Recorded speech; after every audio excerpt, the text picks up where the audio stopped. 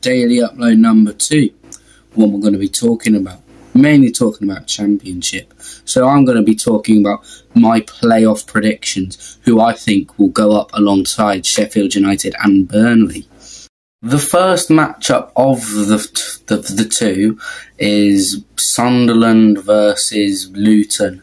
I want Sunderland to win this. I prefer Sunderland to Luton because Luton gave us Nathan Jones. Nathan Jones got us relegated basically.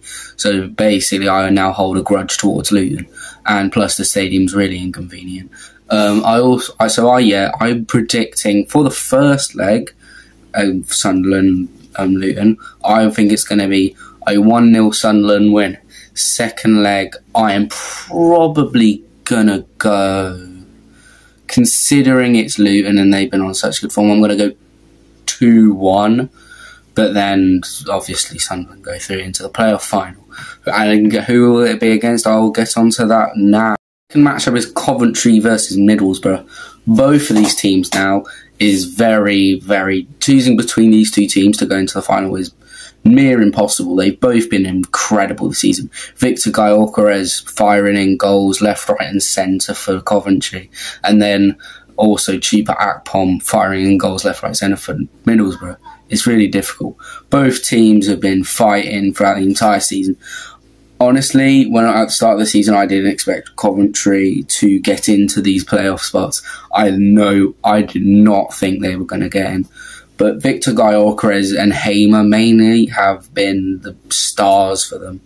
And that's what I feel is not going to get them over the line. Chuba Akpom is another level. If he doesn't get picked up by a Premier League club next season, I will be very shocked. I feel like a Leicester could pick him up as a Vardy replacement or something.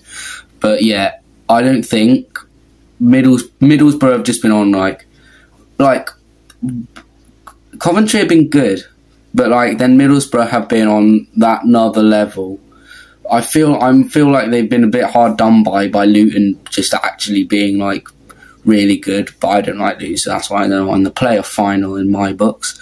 Um, so yeah, I have a feeling it is going to be a two 0 win for uh, Middlesbrough in the first leg, and in the second leg another two 0 I don't think it's going to be your year Coventry, but I think next year, and I will get that in the predictions video when all the playoff stuff's done.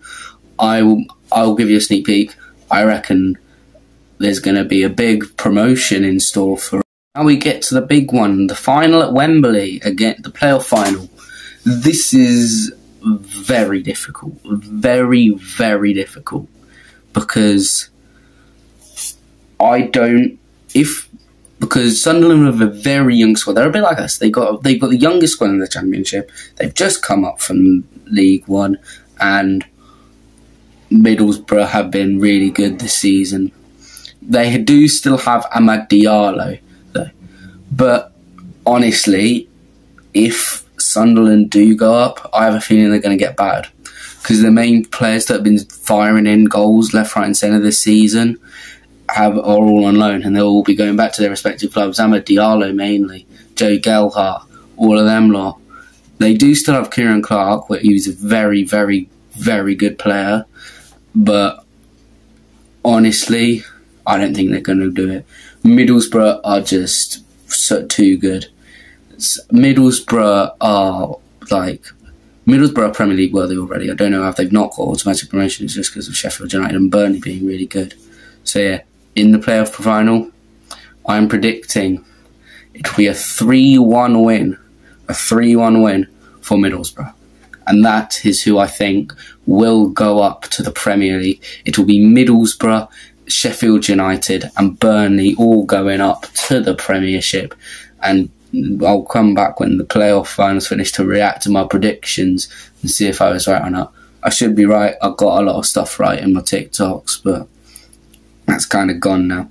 Also, follow my new TikTok, Fredatron 2.0. I've just thought I'd shout it out quick because it's not gained many followers at all because I'm not really posted on there. But yeah, I'm just going to cut down clips basically from my other videos. Mainly when I do FIFA videos, will be clipped down. But then, yeah, it'll mainly be like just clip down videos from this and occasionally like other things as well. But yeah, that's the, the video. And tomorrow, daily upload number three. I can't count. Three. Daily upload number three until the playoffs and the season ends and all that off season. So yeah, peace.